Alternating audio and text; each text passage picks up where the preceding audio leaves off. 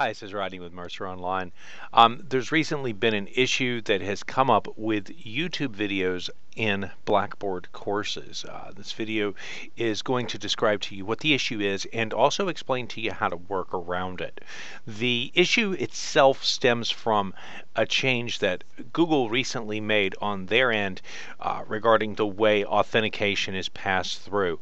Uh, they've changed, they've upgraded their system, and what happened is that caused everything that was connected through Blackboard, which has a plug-in into Google, which caused all of that stuff to break. Um, Um, Blackboard is currently working on a fix for that. However, in the meantime, everything that was created using the YouTube mashup is broken. Yeah, that sounds like fun, right? So here is, this video is going to show you how to work around this issue and how to include the video into your course that may have been affected. Um, so what I'm in, I'm inside of a sandbox course here and I'm just going to come over to build content and I'm going to select blank page.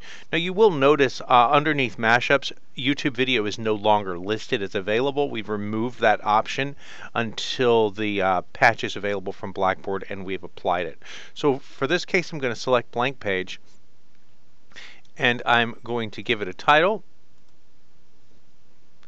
And then, of course, in the content area, I want to give some description of the video that I'm going to include. So as you see, I've entered some text here uh, into the content area. And now what I want to do is I want to insert my video. Um, so I've got another tab open here at the top. So if I click on that tab, this is going to take me to the video that I want to put in. And this is a video on the census. And if uh, to get the information that I want to embed, what I want to do is just underneath the video, there's the option for share. So if I select that, and then you'll see here there's share and it gives me the URL. But what I want to do is I want to embed this video into my course. So I'm going to select the embed option right here. And this is going to give me this whole string of code. So you right click on that big long string of code and select copy. And then you come back over to Blackboard. And now also in Blackboard, once you're on this screen, um, this is where you're going to put that video link. Now, you can't paste it right here because if you do, it's just going to show a link. Uh, and it's not going to work. It's just going to show the text. So what you want to do is come over to the right hand side, the third row of items, and the next to the last one is the HTML button. If you click on that, that's going to open up the HTML box and you can then paste that text in that you just copied from YouTube. So you'll see right here, I've pasted this in. There is that embed code that I copied from YouTube. And if I hit the update button, this is going to now show me the video um, inside of this uh, page that I've created. Bear in mind the video itself is not going to display, just a placeholder, just a big yellow box placeholder. If you don't get that yellow box, then that means something is wrong and you want to redo it.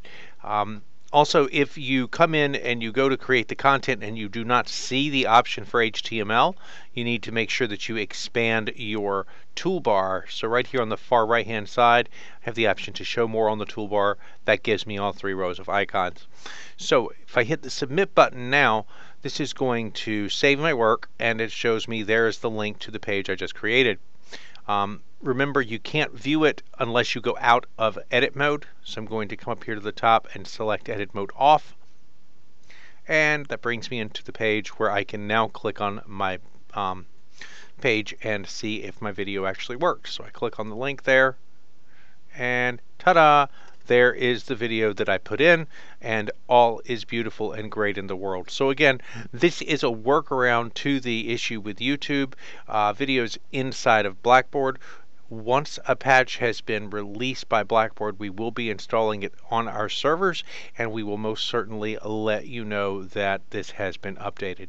As always, if you have any questions, comments, concerns, or gentle criticisms, please feel free to reach out to the team, Mercer Online at mccc.edu,